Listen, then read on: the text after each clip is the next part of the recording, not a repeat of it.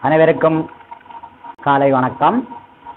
இந்த கொரோனா பத்தொன்பதினுடைய தாக்கத்தின் காரணமாக இந்த மாணவருடைய இழந்த கல்வியை ஈடு செய்வதற்காக எங்களுடைய நாற்பது வருடத்துக்கு மேல் அனுபவம் கொண்ட நிரு கல்வி நிலையத்தினரால் இந்த காணொளி மூலம் அந்த கல்வியை மாணவர்களுக்கு சென்றடைய வேண்டும் என்பதற்காக அவருடைய நிர்வாகியுடைய அயராத முயற்சியிலே இந்த நிகழ்வு இப்போது இடம்பெற்று கொண்டிருக்கிறது. இதிலே மாணவர்கள் எல்லோரும் பங்கு பற்றி அதனை பார்ப்பதன் ஊடாக மற்றும் அந்த இந்த செய்தியை மற்ற மாணவர்களுக்கும் பகிர்ந்து கொள்வதனால் நீங்கள் எங்களுடைய இந்து நாகரிகம் சம்பந்தமான பாடப்பரப்பிலே உள்ள இம்முறை எதிர்பார்க்கக்கூடிய வினாக்கள் அடங்கிய பகுதிகளை நாங்கள் முன்னெடுக்க இருக்கின்றோம். அதுகளை நீங்கள் மற்றவருடன் பகிர்ந்து கொண்டு அந்த நற்பணிக்கு நீங்களும் உறுதுணையாக இருந்து இதை முன்னெடுக்க வேண்டும் என்று இந்த இடத்திலே கேட்டுக்கொள்கின்றேன் இந்த நிகழ்வுக்கு இந்த பங்களிப்பிலே என்னையும் அழைத்து இதிலே இந்த இந்து நாகரிகம் சம்பந்தமான இந்த பயிற்சியில் ஈடுபட வைத்த நிர்வாகத்தினருக்கு நன்றியை தெரிவித்துக் கொள்கின்றேன். அப்போ பாருங்க பிள்ளைகள் நாங்கள் இந்த முறை நாங்கள் எதிர்பார்க்கிற ஒரு வினா வேதங்கள். அதாவது இந்து நாகரிக வளர்ச்சியிலே வேதங்கள் பெறும் முக்கியத்துவத்தினை மேல்வரும் தலைப்புகளில் விளக்கி ஆராய்க என்று கேட்கப்படும். ஒவ்வொரு தலைப்புகளுக்கும் ஐந்தைந்து புள்ளிகள் வழங்கப்படும். அது அதற்கு ஏற்ற முறையிலே நாங்கள் எங்களை தயார்படுத்திக் கொள்ள வேண்டும். அது மட்டுமல்ல ஒரு வினா கேட்கப்படுகின்ற போது அந்த வினாவை பற்றிய ஒரு சிறு அறிமுகத்தை நீங்கள் செய்து அதற்கு பின்னர் அந்த வினாவுக்குரிய அந்த விடையை நீங்கள் அஹ், எழுதப்படல் வேண்டும். அவ்வாறு எழுதப்படுகின்ற போது அந்த வினா ஒரு திருப்தியாக அமையக்கூடியதாக இருக்கும். ஆகவே அந்த அடிப்படையிலே நாங்கள் முதலிலே இந்த இந்து நாகரிக வரலாற்றில் வேதங்கள் பெறும் முக்கியத்துவம் என்ற அடிப்படையிலே அதுக்குள்ளே நாங்கள் இன்று நாங்கள் ஆறு விடயங்களை நாங்கள் பார்க்க இருக்கின்றோம். அதிலே முதலாவது விடயம் வழிபாட்டு முறை இரண்டாவது விடயம் தர்மம் அல்லது அறம். மூன்றாவது விடயம் தத்துவ சிந்தனை. நாலாவது விடயம் வகையும் அமைப்பும். ஐந்தாவது விடயம் சமுதாய சிந்தனைகள். ஆறாவது விடயம் முக்கியத்துவம் என்ற ஆறு விடயங்களை நாங்கள் இன்று அஹ், பார்க்க இருக்கின்றோம். அந்த அடிப்படையிலே நாங்கள் இன்று இவ்வாறு ஒரு வினா கேட்கப்படுகின்ற போது நாங்கள் முதலிலே அந்த பகுதிக்குரிய அறிமுகத்தை நாங்கள் செய்து கொள்ள வேண்டும். அதாவது இந்த வேதம் என்றால் இந்து நாகரிக வரலாற்றிலே வேதங்கள் முதல் நூல்களாக கொள்ளப்படுகின்றன. இந்த வேதம் என்ற சொல்லப்படுகின்ற இந்த சொல் வித்தென்னும் வடமொழி சொல்லிலிருந்து தோற்றம் பெற்றது. வித்தென்றால் அறிவு என்பது பொருள். ஆகவே இந்த வேதம் அறிவு நூலாகும். இந்த வேதங்கள் ஆரம்பத்திலே மூன்று வேதங்கள் காணப்பட்டன. இருக்கு யசூர் சாமம் அதர்வனம் என்று சொல்லப்படுகின்ற இந்த நான்கு வேதங்களில் மூன்று வேதங்கள் முன்னர் காணப்பட்டன. இருக்கு யசூர் சாம். இந்த மூன்றையும் நாங்கள் திரையி வித்தியா என்று அழைக்கப்பட்டது. பின்னர் தான் நான்காவது வேதமாக அதர்வன வேதம் சேர்த்துக் கொள்ளப்பட்டது. ஆகவே வேதங்கள் நான்கு. எனவேதான் அந்த வேதத்தை நாங்கள் சதுர்மறை சதுர் வேதம் என்று அழைக்கின்றோம். அவ்வாறான இந்த வேதம் கிமு ஆயிரத்தி அஞ்சூறுக்கும் அறுநூறுக்கும் இடப்பட்ட காலமாக அங்கே கொல்லப்படுகின்றது. இந்த வேதங்கள் மூன்று காண்டங்களாக வகுக்கப்பட்டுள்ளது. கர்மகாண்டம் ஞானகாண்டம் உபாசனை காண்டம் என்று சொல்லப்படுகின்ற மூன்று காண்டங்களாக காணப்படுகின்றது. அது மட்டுமல்ல இந்த வேதங்கள் ஒவ்வொன்றும் நான்கு உட்பிரிவுகளை கொண்டு காணப்படுகிறது. அதாவது பிராமணங்கள் ஆரணியங்கள் உபநடனங்கள் சங்கீதைகள் என்று சொல்லப்படுகின்ற நான்கு உட்பகுதிகளை கொண்டு இந்த வேதம் காணப்படுகின்றது.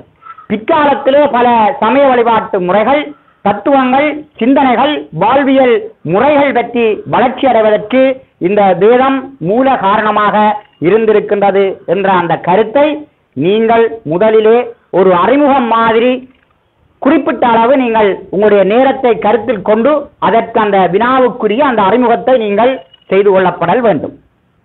அதற்கு பிறகு நாங்கள் எங்களுடைய அந்த வினாவுக்கு நாங்கள் வரலாம். அவ்வாறு வினாவுக்கு வருகின்ற போது அங்கே முதலாவது கேட்கப்பட்டது வழிபாட்டு முறைகள் என்று அங்கே கேட்கப்பட்டது அங்கே வழிபாட்டு முறைகள் என்று கேட்கப்படுகின்ற போது குறித்த ஐந்து புள்ளிகள் அந்த வினாவுக்கு வழங்கப்படும். ஆகவே குறைந்தது நீங்கள் ஐந்து பாயிண்ட் அதாவது நீங்கள் அதற்கு எழுதப்படல் வேண்டும். அதற்கேற்ற மாதிரி நீங்கள் உங்களை தயார்படுத்திக் கொள்ளல் வேண்டும். ஆகவே அந்த அடிப்படையில் நாங்கள் வழிபாட்டு முறை என்று நாங்கள் சொல்லுகின்ற போது அங்கே ஐந்து விடயங்களை நாங்கள் இங்கே கருத்திலே கொள்ளலாம். இந்த வேத காலத்திலே இயற்கை சக்திகளை மையமாக கொண்டு இந்த வழிபாட்டு முறைகள் ஏற்படுத்தப்பட்டது. அதாவது ஆரம்ப காலத்திலே வேத காலத்து மக்கள் இயற்கை சக்திகளான இந்த காற்று மழை வெயில் போன்ற இந்த இயற்கை சக்திகளை கண்டு பயந்து அதிலே இருந்து தங்களை சாந்தப்படுத்துவதற்காக ஒவ்வொரு இயற்கை சக்திகளுக்கும் ஒவ்வொரு தெய்வ நாமம் கொடுத்து அந்த இயற்கை சக்திகளை தெய்வ நிலைக்கு உயர்த்தி அங்கே வழிபடப்படுகின்ற ஒரு நிலை அங்கே காணப்பட்டது. உதாரணமாக நாங்கள் காற்றை வாயு என்றும் நெருப்பை அக்கினி என்றும் மலையை தர்ணன் என்றும் அந்த காலத்து மக்கள் அங்கே இயற்கை சக்திகளை அங்கே தெய்வ நிலையிலே வேண்டி வழிபட்ட ஒரு நிலையை நாங்கள் காணுகின்றோம். ஆகவே இவ்வளவு விடயங்களை நாங்கள் வைத்து அங்கே இடம்பெற்ற ஒரு வழிபாட்டு முறை இயற்கை வழிபாட்டு முறை என்ற ஒரு வழிபாட்டு முறை அங்கே இடம்பெற்றிருக்கின்றது என்பதனை நீங்கள் அங்கே விளக்கிக் கொள்ள வேண்டும். அதை நான் இங்கு பல விடயங்களை உள்ளடக்கி கூறுகின்றேன். நீங்கள் அதிலே ஒரு குறிப்பிட்ட அளவு விடயங்களை நீங்கள் அங்கே ஒரு இயற்கை சக்தி வழிபாடு இருந்திருக்கின்றது என்பதனை நீங்கள் அங்கே விளக்கி கூறப்படல் வேண்டும். இது முதலாவது விடயம். அதற்கு பிறகு ஆனால் இரண்டாவது பாயிண்ட்ஸாக நாங்கள் பார்க்கலாம்.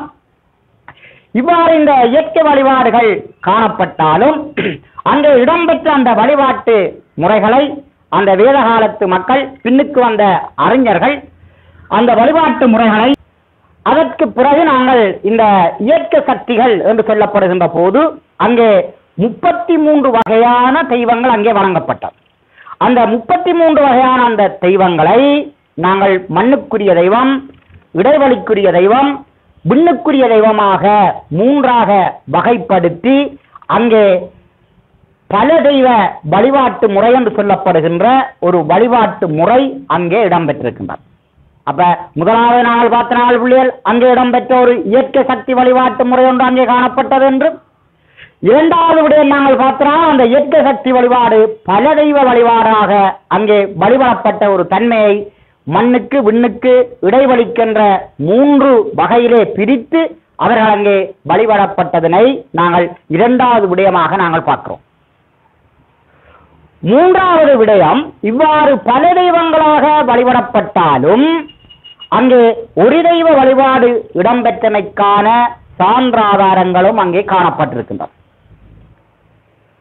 ஏகம் சத் பிப்ரா பகுதா வதந்தி என்கின்ற அந்த மகா வாக்கியம் அங்கே பல தெய்வங்கள் வழிபடப்பட்டாலும் ஒரு தெய்வ வழிபாடு இடம்பெற்றிருக்கின்றது என்பதனை அங்கே எடுத்து காட்டுகின்றது அதாவது வேத காலத்திலே வாழ்ந்த மக்கள் நினைத்த நேரத்திலே தாம் வேண்டும் தெய்வத்தை நினைத்த இடத்தில் வணங்க முடியாமல் போகின்ற போது எல்லாவற்றுக்கும் மேலான ஒரு தெய்வம் பிரஜாபதி என்று சொல்லப்படுகின்ற ஒரு தெய்வத்தை அங்கே வணங்கியதாகவும் தங்களுடைய ஆகுதி பொருட்களை சமித்துக்களை யாருக்கு நாங்கள் கொடுப்போம் என்று ஒன்பது தடவைக்கு மேல் அங்கே கேட்கப்பட்டதாகவும் அதற்கு பதிலாக அங்கே பிரஜாபதி என்கின்ற அந்த தெய்வத்துக்கு வழங்குவோம் என்று அங்கே சொல்லப்படுவதில் இருந்து அங்கே ஒரு ஒரு கோட்பாட்டு வழிபாட்டு முறை ஒன்று அங்கே இடம்பெற்றிருக்கின்றது என்பதனை நாங்கள் காணக்கூடியதாக இருக்கின்றோம். ஆகவே மூன்றாவது விடயமாக நாங்கள் ஒரு தெய்வ வழிபாடு அங்கே இடம்பெற்றதனை இங்கு எடுத்து காட்டியிருக்கிறோம். அடுத்த விடயமாக நாங்கள் பார்க்கின்றோம்.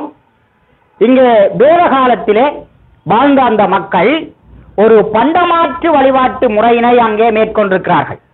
அதாவது தங்களிடம் இருக்கின்ற ஆகுதி பொருட்கள் சமித்துக்கள் போன்ற பொருட்களை இறைவனுக்கு கொடுத்து அதற்கு பதிலாக தங்களுக்கு வேண்டுகின்ற அந்த வரங்களை நீண்ட ஆயுள் மலை செல்வம் புத்திரப்பேறு என்கின்ற நோயின்மை போன்ற அந்த வரங்களை அவர்கள் ஒன்றை கொடுத்து இன்னொன்றை அங்கே வாங்கி பயனடைந்த ஒரு முறையினை நாங்கள் அங்கே பார்க்கின்றோம்.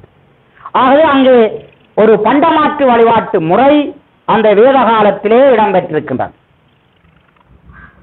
அதே மாதிரி இங்கே வேதங்களிலே வழிபடப்படுகின்ற போது அங்கு யாக வேள்வி வழிபாட்டு முறை மிக சிறப்பான முறையிலே அங்கே இடம்பெற்றிருப்பதை நாங்கள் பார்க்கின்றோம்.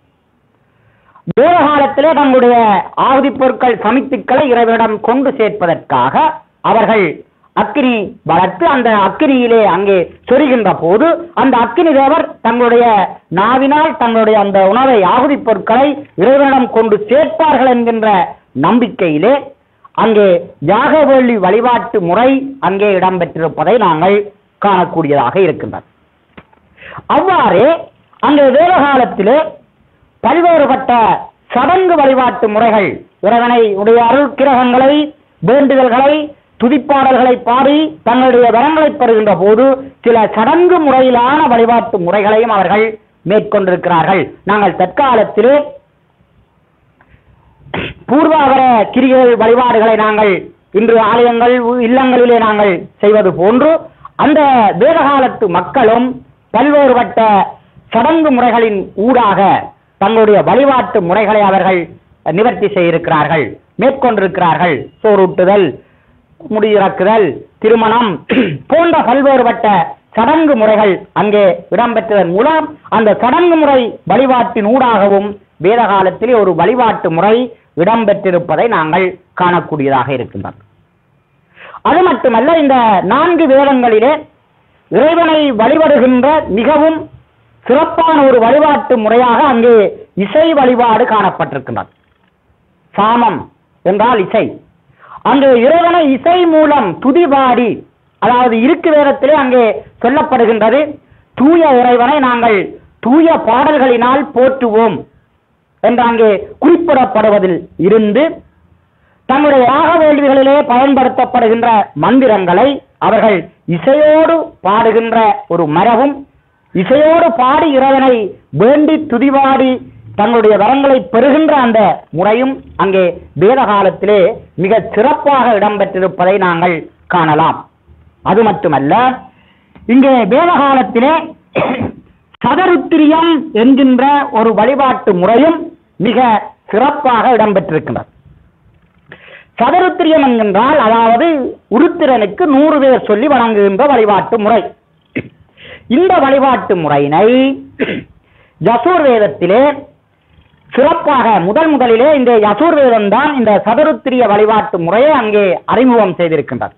அதாவது இறைவனுக்கு பல பெயர் சொல்லி வழிபடுகின்ற ஒரு வழிபாட்டு முறையினை இந்த யசூர்வேதம் எங்களுக்கு அறிமுகப்படுத்தி இருக்கின்றார் அந்த அறிமுகம்தான் இன்று நாங்கள் எங்களுடைய வாழ்வியலிலே அஷ்டோத்திர நாமம் சகஸ்தோத்திர நாமம் லட்சாரிச்சரை என்று சொல்லப்படுகின்ற வழிபாட்டு முறைகள் எல்லாம் பிற்காலத்திலே தோற்றம் பெறுவதற்கு இந்த சதுரத்திரிய வழிபாட்டு வேத காலத்திலே இடம்பெற்ற சதுரத்திரிய வழிபாட்டு முறைதான் வித்திருக்கு வித்திட்டிருக்கின்றது என்பதை நாங்கள் காணக்கூடியதாக இருக்கின்றது ஆகவே பாருங்கள் நாங்கள் இப்போது இந்த வேதங்களிலே இடம்பெற்ற அந்த வழிபாட்டு முறைகள் எவ்வாறான வழிபாட்டு முறைகள் இடம்பெற்றிருக்கின்றன என்பதனை நாங்கள் பட்டியல் படுத்தி கொண்டு சென்றிருக்கின்றோம். இங்கு நான் ஒன்பது விடயங்களை உங்களுக்கு நான் கூறியிருக்கின்றேன். இதிலே நீங்கள் குறிப்பிட்ட அளவு விடயங்களை அந்த வினாவுக்கு நீங்கள் உள்ளடக்குகின்ற போது அதற்குரிய புள்ளியை நீங்கள் பெற்றுக்கொள்ள முடியும். சிலர் அந்த ஒவ்வொரு விடயங்களையும் விளக்குகின்ற தன்மையில் உங்களுடைய நேரத்தை கருத்தில் கொண்டு இதில் சொல்லப்பட்ட அந்த விடயங்களை நீங்கள் விளக்கிக் கொள்ளலாம். நேரத்தை முக்கியமாக நீங்கள் கருத்தில் கொள்ள வேண்டும். இதுக்கு என்னால் கூட நிரம்ப விடயம் எழுத முடியும் என்பதற்காக நீங்கள் அந்த வினாவுக்கு அவ்வளவு விடயங்களையும் நீங்கள் எழுதிக் கொண்டிருப்பது நன்றாக இருக்காது.